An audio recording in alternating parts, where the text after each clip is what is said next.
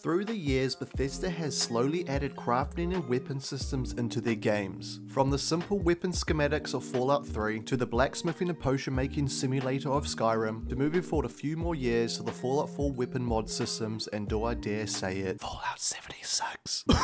anyway, but with Starfield entering the ring, I could not be more excited for the overhauls they've done with the weapon customizations and crafting systems. And with that being said, let's jump straight into it. Now, to begin your crafting adventures, you're going to be heading to your research laboratory. These can be found in a variety of spaces around the settled systems, such as your ships and also your outposts. This is where you're going to be researching the different projects across these five trees. You have pharmacology, which is going to be based around your chemical buffs and also your health packs food and drink which is going to be allowing you to get more recipes but also improve the effects that they bring. Outpost development which is all about unlocking new modules and also improving them. And if you're interested in a little bit more information about Outposts, check the video link up above. And for the last ones we have equipment and weaponry. This is going to be diving into the different modifications that you can equip onto your armor and weapons. A little key thing to take away before we move on is the fact you're able to see the available projects underneath each tree, which is represented by this number here. Now as we dive deeper into the research lab, you're going to see a lot of information. On the left hand side we have the research projects. This is going to be showing us what is available for us to research. But also what you'll notice is that some are blocked. This is because you're going to need to complete the prerequisite before you're able to go to the next level, with the example here being Barrel Mods 1. Now for us to advance the Barrel Mods 2, all we're going to need to do is get a bunch of required materials, which we can see down the bottom here is 20 iron, 20 nickel and 10 sealant. Seems pretty simple right? Well here is the kicker. Up the top you're going to be noticing something called required skills. Yes, that is correct. A lot of these higher level projects are going to require you to have a certain level of a skill. For example, we have the gastronomy skill.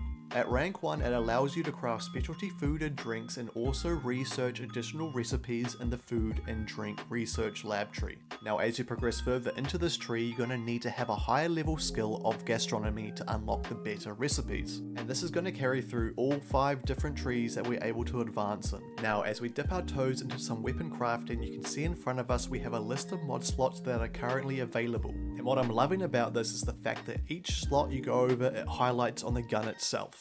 Look, I get it. They did this in Fallout 4, but this just looks so much cleaner. The receiver mod slot allows you to change the type of firing for the gun, whether it's single shot, semi-automatic, or fully automatic. Internal, which is going to be changing the damage type your weapon is, from ballistic to energy to electromagnetic. Optic, which is going to be your iron sights and your scopes. Magazine and battery, which is going to be how many bullets you have in your gun and also the reloading speed. Muzzles, which is going to be the attachments at the end of your barrels, such as silencers. And then stock, which is your recoil control. And what does it cost for all this amazing stuff, you ask? Well, a simple click on that subscribe button. But seriously, most of these mods are going to be made up of two part metal, one part component. And again, with these lower ranked mods, you're going to be finding that lead is a very common material. So just keep that in mind when you're resource hunting. Another little thing I'd like to point out is when we are going through the mods, you're going to realize on the right hand side that some of them do tell you which research is required, which can all be accessed at your research laboratory. Now time for my favorite overhaul that they've done to this game, because resource gathering has never been this easy, and it all starts with opening up your planetary map on your ship. Now as we enter the planet overlay on the left side, we're going to see a whole heap of information, from the gravity to the temperature to even the type of water that's available. But the things that we're most interested in for the crafting is the fauna, the flora, and also the resources.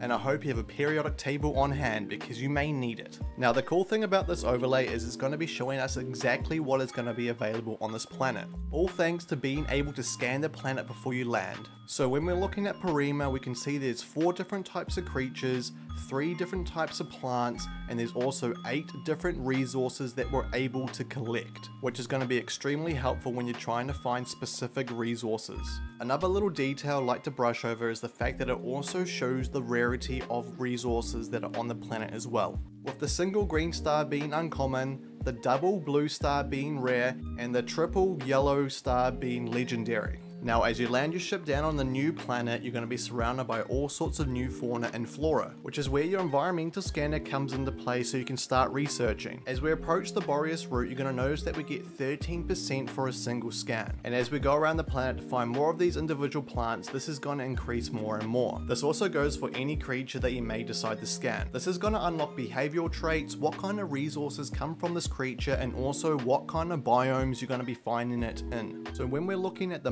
Mothwing Grazer, we can see that the resource type is fiber. What this points out is when this creature dies, you have a chance of getting this resource from it which is the same for the hunting sailgator which has a chance to drop pigment and the swarming dragon that has the chance to drop sealant. With these creatures resources being used to help you with your outpost building, your weapon and armor modding and your crafting in general. And just remember, the swarming dragon drops that fine ass sealant. Now when completing certain plants and creatures surveys it unlocks a mechanic called reproduction, which is going to allow you to reproduce them when you put them in your outpost which is taking me back to the good old days of Farmville. I know damn well a lot of you played this game. And once again, because I know how much you love me comparing this to Fallout 4, you can create trade routes between your outposts. Meaning whatever ones you've connected, you're able to access their resources for crafting throughout the universe. So let me know in the comments below, are you going to be Starfield's next top farmer? When we go about collecting mineral resources such as iron and other metals, you're going to notice one key difference when you pull up your environmental scanner. You are unable to scan and gain research points like you can with the flora and fauna and get new traits and understand the resource better, which essentially means you're going to have to planet hop to get to these resources.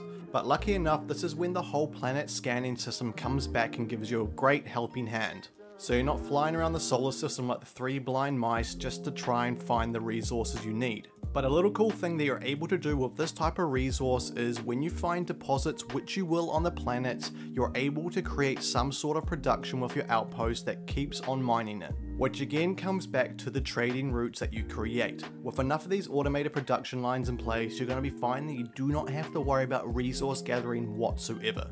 And all I can say to that is sign me up. So looking back over the years, I can safely say that Bethesda is slowly learning how to implement a good and safe crafting mechanic. Not to say that they have perfected it in any way, shape or form, but I do believe with Starfield this is going to be their best system yet. With the different layers they've added into the crafting system, you know it's going to be a bit of a grind, but this may be a good grind to say the least. And the reason why I say this is because there are automated systems that you're able to put in place just to make that grind a little less. And on top of that, you obviously have your crew and companions to help make that matter even easier. I have no doubt in mind that when Starfield comes out, it's going to be as good as it seems. And for all those people that are constantly throwing negativity at this game, you need to get over yourself. Bring back the days where success was celebrated by all. And on that note, I just want to thank you all for watching. I hope you've enjoyed the video and if you have, don't forget to leave a like and subscribe because there's plenty more Starfield in the tank.